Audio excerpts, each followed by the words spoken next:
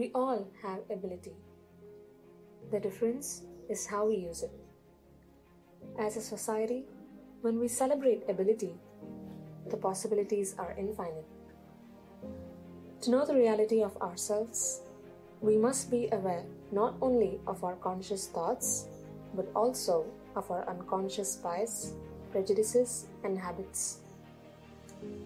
Every now and then, we come across people who break stereotypes and make us realize of our clouded judgments.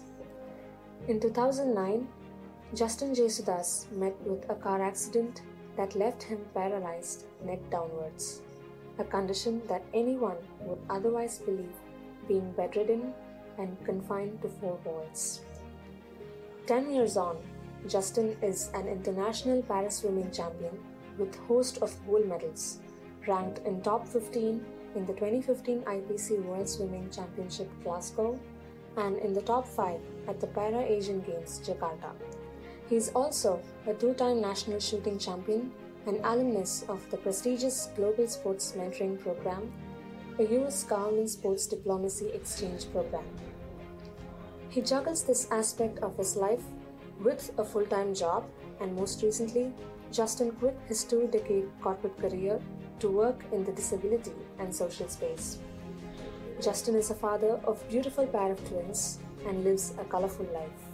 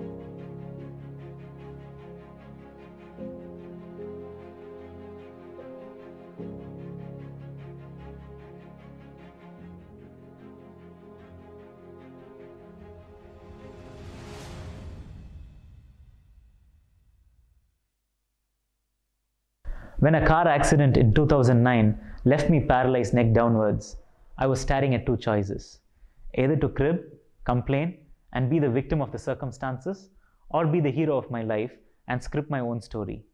I chose the latter, and that made all the difference.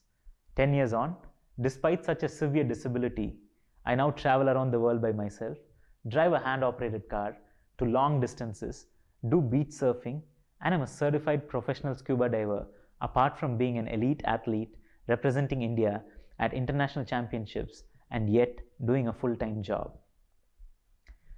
The first year and a half was a challenge, and as they say, all things are difficult before becoming easy.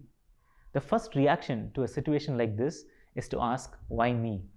I consciously steer away from this attitude because I never asked, Why me when I had a high flying career, when I had a promotion, or when I bought a car. So why ask now? The hope and longing to walk again was there despite knowing the prognosis for spinal cord injury is always poor. Fortunately, I had a great family that became the hands and legs I didn't have.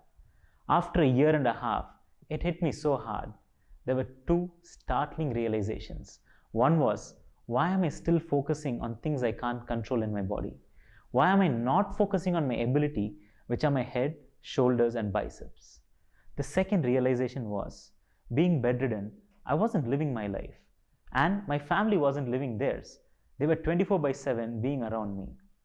I decided to work on my strengths. Started working out on my upper arms very religiously.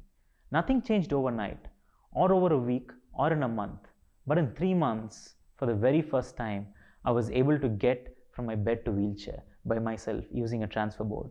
Until then, I was being lifted by two to three people. Thereon, I started setting goals and started working towards them. A key milestone in this journey was in 2012 when I decided I will get to driving again no matter what. At that time, it sounded crazy with no control in my lower body and fingers not working. If at all I drive, I would have to use my shoulders and manipulate my non performing assets like my palm and fingers. I got involved in researching and designing the adaptation for my car. If only you put your mind completely onto something and work towards it passionately, you'll be surprised with the results. I have now driven close to 100,000 kilometers, including long drives over 700 kilometers at a stretch. The tables started turning really now, and in a pleasant reversal of roles, I started taking my family out for shopping, outings, vacations, and from being completely dependent, we became interdependent. For me, it was a liberation of sorts. When I began to realize that I was getting functionally independent, I took to sports. In the beginning, it was only for fitness, and swimming was an obvious but scary choice. Obvious as water takes care of the weight, keeps my body temperature at check, but scary because of the risk of drowning. I wasn't trained to swim before my accident. No finger control to hold on something was risky. I still remember the first day at the swimming pool. The lifeguards were perplexed, totally apprehensive. With a little persuasion there, I was in the pool, but with a floater. That was the condition the lifeguards put in. Of course, the floater did its job. The courage I rubbed onto the lifeguards to remove the floater shaped the competitive swimming journey that I had after that. Thereon, what seemed like eternity to go from one end to another end of the pool, from there on I picked up and started doing two kilometers every day in three months' time. And that put the pathway for me to become an elite athlete. YouTube was my coach.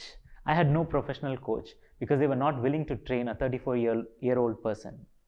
And two, they didn't understand what a neck downwards paralysis would be. From there on, there was no turning back. Goals at state and nationals, qualifying for all international champions, championships, and then for the World Championship, finishing in the top 15, at the Asian Games representing India and finishing in the top 5. I also picked up rifle shooting. The US government invited me for the foreign exchange diplomacy program. It all came along the way. If you ask me how I did all this, I didn't miss a day's training. Every day when I wake up, I had two choices. I can find reasons to disable myself and lie in the bed and start staring at the ceiling. Or I can find reasons to enable myself and seize the day. Of course, I chose the latter. My disability can be measured by the doctors, but my ability, nobody can measure. There is simply no limit for your ability.